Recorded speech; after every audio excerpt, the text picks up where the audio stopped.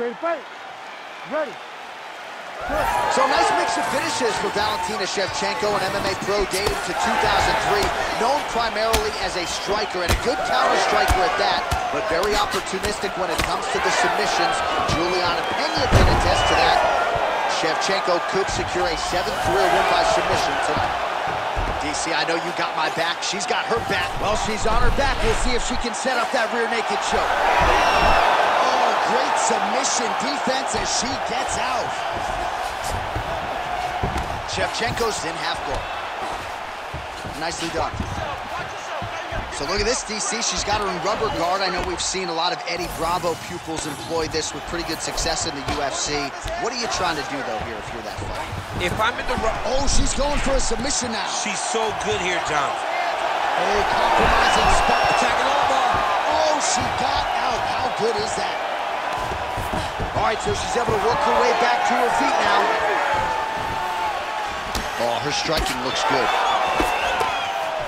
She's got that single collar in the clinch now. Oh, how is she standing? Brutal knee to the body. Man, these knees are really starting to do a lot of damage to her opponent, and there is another one right on cue. So several knees landed already in this round. Oh, nice double leg, yes. Mount. Way to kick her off and try to get some space to get up. She got that kick to the body home. That's a big hook. Oh, knee strike right to the body. Man, one knee after the next by her tonight. She certainly got that part of her game working. It's such a damaging strike for her to land this many knees. It's insane. What a nasty kick. That was thrown with ill intent. Oh, look at that. Kick and takes her to the dump. Puts her right on her back. Great job running her feet, dumping her opponent to her butt on the takedown attempt off that nice kick. Postures up now and lands a devastating strike to the head. She does a good job of recognizing that the shots are coming, and she's got to get out of the way. Shevchenko gets back up again. Well, I think if I was a fighter, I'd probably be a headhunter, but she is not that, right? She's invested in the body, and she's done some pretty significant damage to her opponent.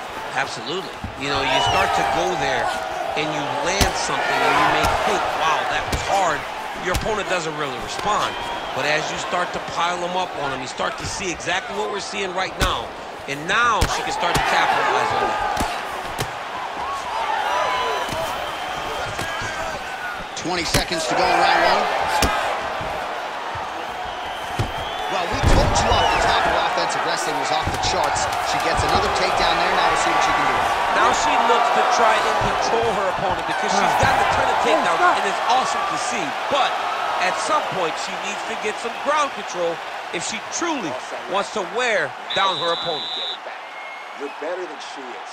We need you to All right, let's check out some of the action in that. You ready to fight? Ready. Let's do it. All right, round two. And there's a takedown attempt. Oh, a beautiful straight right hand.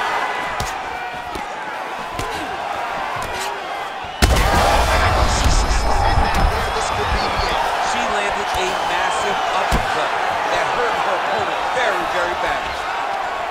Oh, watch guillotine here. Oh, Oh, that gilly is tight. great submission defense on full display by the opponent. So she backs up here and lets her opponent stand up. While she continues to land to the body, attacking those organs, right? Not a lot of protection there, and you're seeing some visible damage now on the other side. Visible damage. She's done a tremendous job understanding and recognizing where the weakness was. There it is again. Look at it.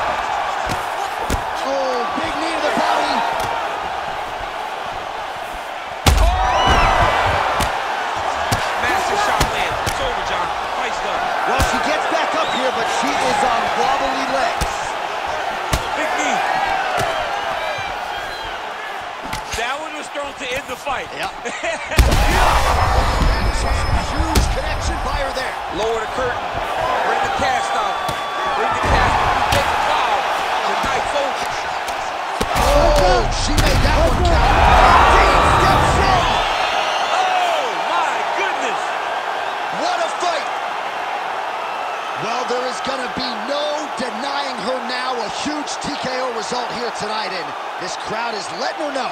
John, you know how much I love to talk, and I'm sitting here almost speechless because this young lady looked amazing. She said she was going to get a finish, and that's exactly what she did.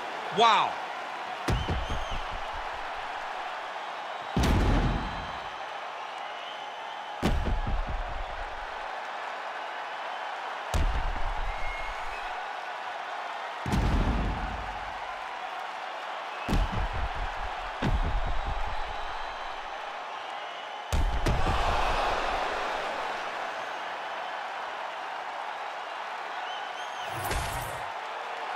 All right, Bruce Buffer.